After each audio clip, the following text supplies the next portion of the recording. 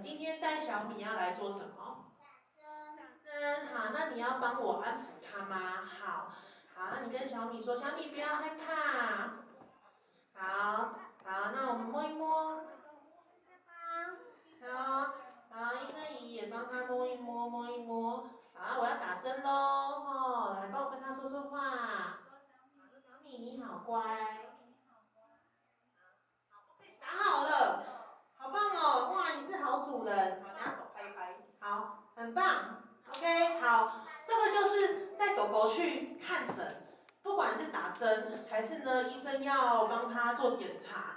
那如果你是小主人，你是他的姐姐或者是他的哥哥，你要做一件事情是什么？你要在前面哦安抚他，好帮他转移注意力，因为你们打疫苗都会害怕，对不对？会痛，对不对？